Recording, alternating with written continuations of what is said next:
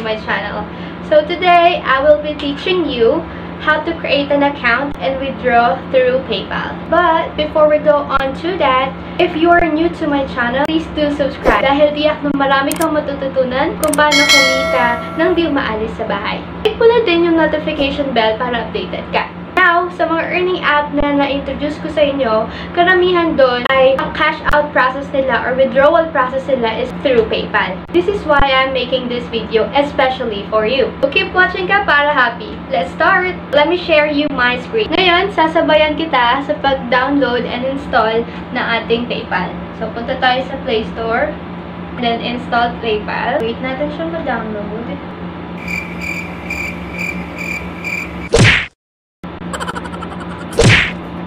Open natin si PayPal. Dito makikita nyo sa screen nyo, sa bandang baba, is my login and sign up. So, dun tayo sa sign up. Let's get started daw. Lagay natin agad yung mobile number natin for verification. If ever, kunyari nakagawa ka na ng PayPal mo, then one time, madelete, uh, ma-forget mo yung password. Napaka-importante ng mobile number mo. Let me just fill it in. Okay. So, after that, we will be needing to have to enter a confirmation code from PayPal na magte-text sila sa atin. Receive ko na yung confirmation code. Let me just fill it in. Okay. So, sabi dito, let's set up some basic details. So, fill in natin yung gagamitin nating email address for our PayPal. Make sure na ito yung email address na may access ka and one of um, one of that you are using sa mga earning app mo. Yung primary email address mo, okay? Kasi napaka-importante nito guys bago tayo magsimula kasi sa lahat ng earning app na gamitin mo, every time na mag-withdraw ka or magka-cash out ka, lagi mo, if you're using PayPal, lagi mo ilalagay yung email address na in-enter mo sa pay PayPal sa pag-sign up, okay? Magka-create tayo ng password. Ang kailangan dito is list my number, tapos uppercase na isa or uppercase and smaller letter, and then isang symbol para maging valid siya kay PayPal. After that, let's fill in your account profile. Nalagay mo lang yung mga uh, valid information mo. Huwag kang gagamit ng mga pangalan ng ibang tao or mga username mo kasi importante to. Kasi parang treat this as your bank account kasi this is a way to transfer your funds. And dito mo rin pwede i-store yung funds mo. Sa identity card naman, meron sila ditong halagay passport or driver's license. Identity card, magbibigay ako ng list na valid ID sa description box. Kindly check it na lang po. In my case, I used UMID or UMID ID. So, ang importante sa pag-choose ng ID or valid ID na i-enter nyo, kailangan may picture nyo to, address, correct name, tapos, um, date of birth, and syempre, ID number. So, before you enter the UMID or your ID number, make sure i-double check nyo siya. Importante kasi yung mga ganitong identity card. Ang purpose nito is for validation din. Kasi, tulad nga na sabi ko kanina, itong PayPal, um, ini-store nito yung funds natin. So, for verification purposes lang, para hindi hindi siya basta-basta magagawa ng fraudulent action ng mga uh, ng mga online thief or scammers like that. So, date of birth, just fill it in. After natin ma-fill out lahat ng information na need natin ilagay, press continue and add an address to your profile. Type nyo lang yung valid address nyo. And it says here, include a street and house number for better result. So, in this case, makikita nyo, walang address na nagpa-pop up. So, ilagay mo dito, I, I don't see my address. So, you can create your own. So, lagay ko lang siya. So, sa zip code naman, if you're having trouble entering yours or kung hindi mo alam or maalala yung sa inyo, you can just Google it. Yan. So, after fill it out, confirm ko yung checkbox. It's for user agreements and privacy statement. Agree and create account.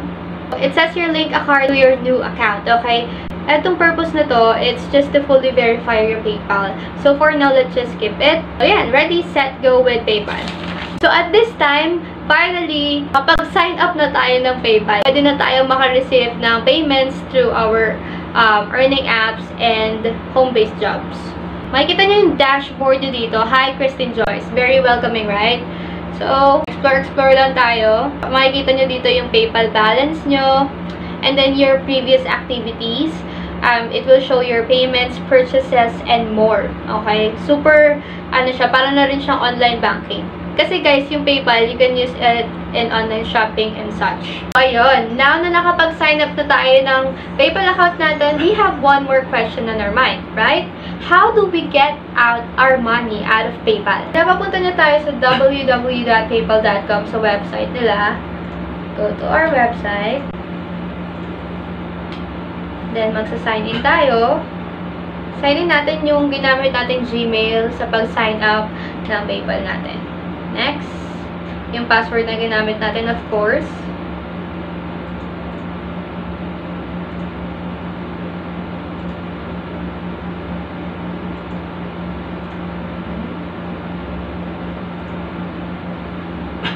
So, security challenge. Are you a robot? Let's check it.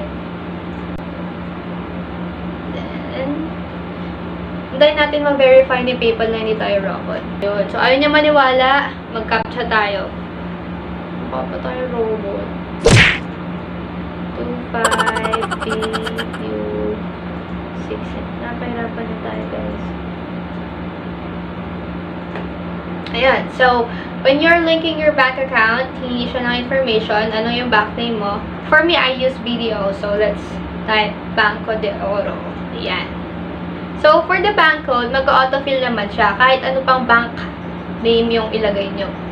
Ito pa, make sure nyo na parehas yung name nyo, um, name nyo sa PayPal, sa name nyo dun sa bank nyo. Para hindi rin siya magbabounce. And then, by the way, whenever you transfer money from PayPal to your bank, lagi siyang may 50 pesos fee, okay? If it's lower than or lesser than 7,000. Okay? Ayan, so that's all about it. So, what do you think of this tutorial video? I'd like to hear from you guys about your feedbacks and questions. Just feel free to comment down below. And if you like this video, hit the like button right away for me. Thanks for watching. Again, I'm your 13 and see you on the next vlog.